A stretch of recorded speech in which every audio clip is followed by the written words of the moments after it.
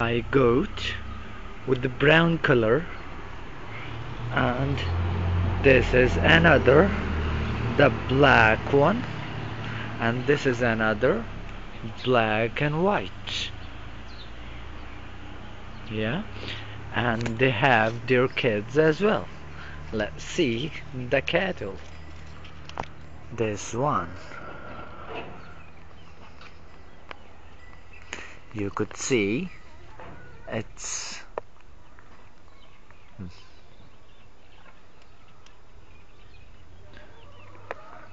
the other two are here. You could see these two. These are my goats.